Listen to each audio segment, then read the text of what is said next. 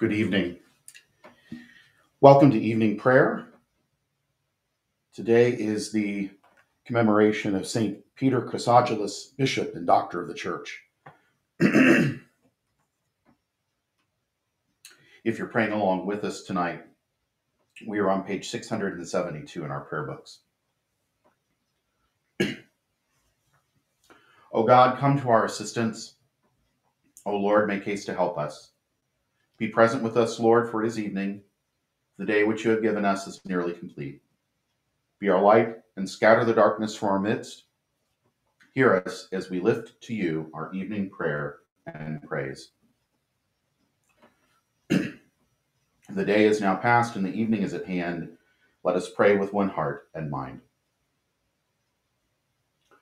Lord of all, our breath and being come from you, yet our earthly end is dust.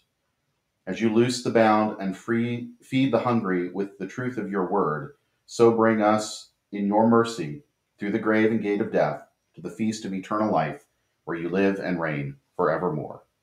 Amen.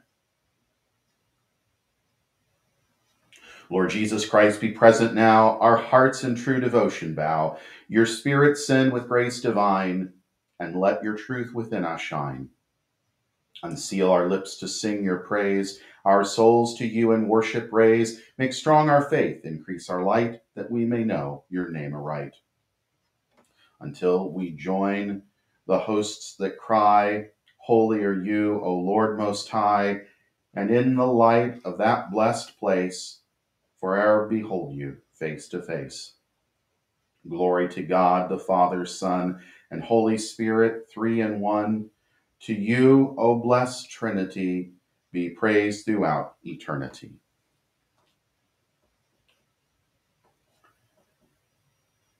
Praise the Lord. Let all that I am praise the Lord.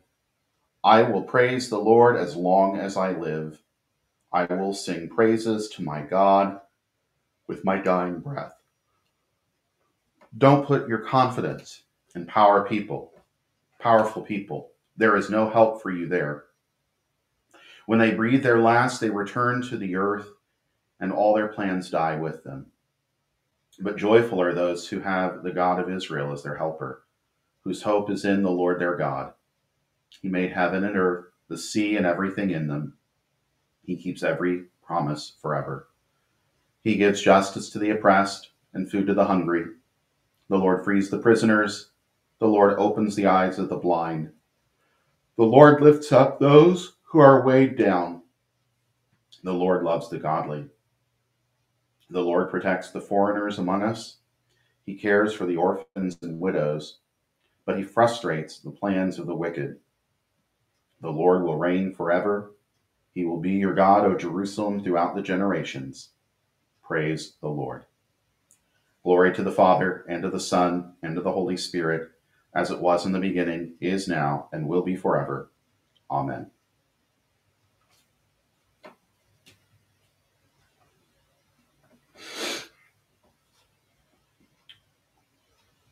From the letter of James The wisdom from above is first of all pure. It is also peace loving, gentle at all times, and willing to yield to others. It is full of mercy and the fruit of good deeds. It shows no favoritism and is always sincere. And those who are peacemakers will plant seeds of peace and reap a harvest of righteousness.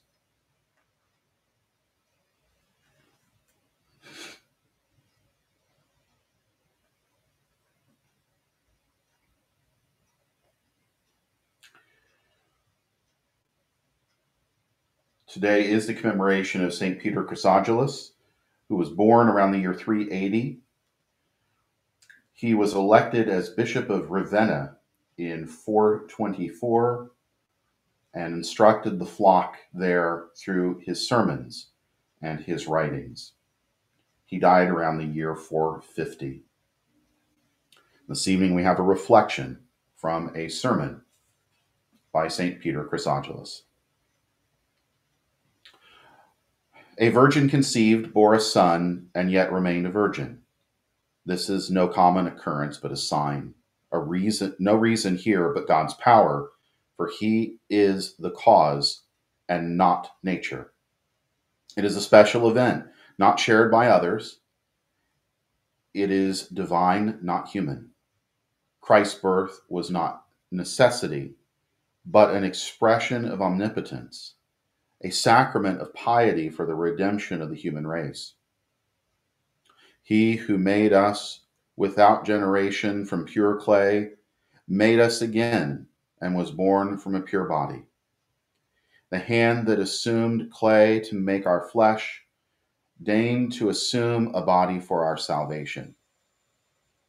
That the Creator is in his creature and God is in the flesh brings dignity to humanity without dishonor to the one who made our race. Why then, people, are you so worthless in your own eyes and yet so precious to God? Why render yourself such dishonor when you were created by Him? Why do you ask how you were created and do not seek to know why you were made? Was not this entire visible universe made for your dwelling? It was for you that the light dispelled the overshadowing gloom. For your sake was the night regulated and the day measured. And for you were the heavens embellished with the varying brilliance of the sun, the moon, and the stars. The earth was adorned with flowers, groves, and fruit and the constant, marvelous variety of lovely living things was created in the air, the fields, and the seas for you. Lest sad solitude destroy the joy of God's new creation. And the Creator still works to devise things that can add to your glory. He has made you in His image that you might in your person make the invisible Creator present on earth. He has made you His legate so that the vast empire of the world might have the Lord's representative. Then, in his mercy, God assumed what he made in you. He wanted now to be truly manifest in human flesh, just as he had wished to be revealed in us as in as an image. Now he would be in reality what he had submitted to be in symbol. And so Christ is born that by his birth he might restore our nature. He became a child, was fed, and grew, that he might inaugurate the one perfect age to remain forever as he had created it. He supports us that we might no longer fall, and the creature he had formed of the earth he now makes heavenly, and what he had endowed with a human soul he now vivifies to become a heavenly spirit. In this way, he fully raised our race to God and left in us neither sin, nor death, nor travail, nor pain, nor anything earthly, with the grace of our Lord Jesus Christ, who lives and reigns with the Father in the unity of the Holy Spirit, now and forever, for all the ages of eternity. Amen.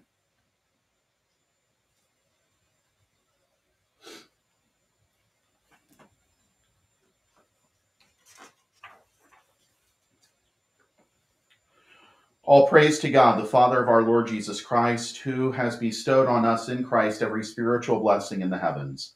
God chose us in him before the world began to be holy and blameless in his sight. God decided in advance to adopt us into his own family by bringing us to himself through Jesus Christ. Such was his will, and it gave him great pleasure.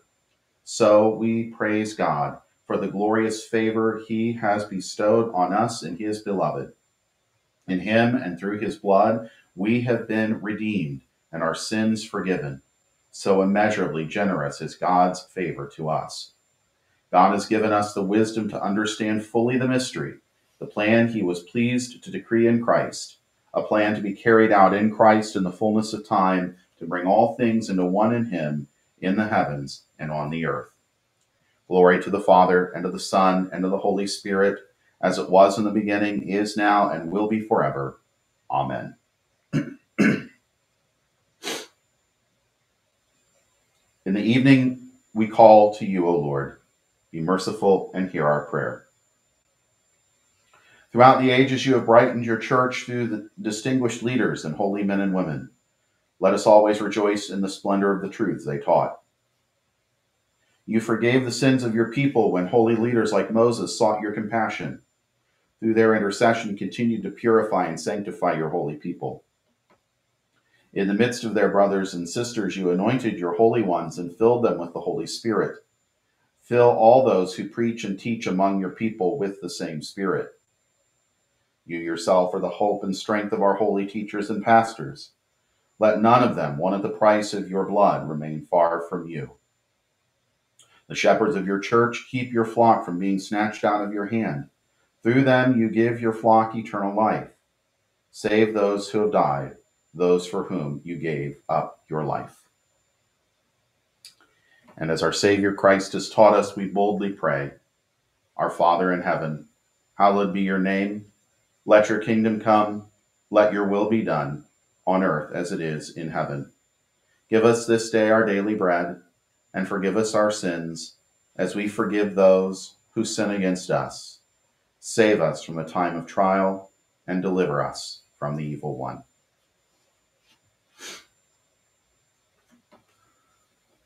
Lord God, you filled your servant Peter Chrysologus with heavenly wisdom.